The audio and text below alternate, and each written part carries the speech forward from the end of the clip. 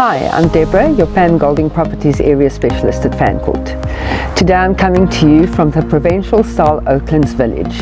We have a really beautiful home that we're showcasing and you can absolutely see that this home has been lived in and cared for with love.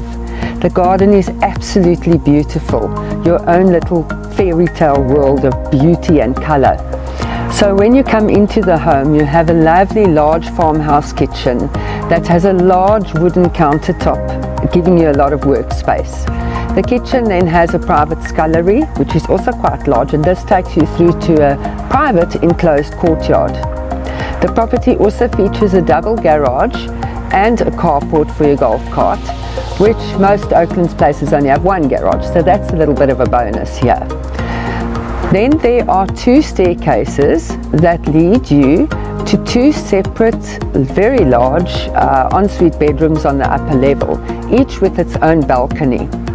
This area then also has a lovely TV lounge, also leading onto a balcony.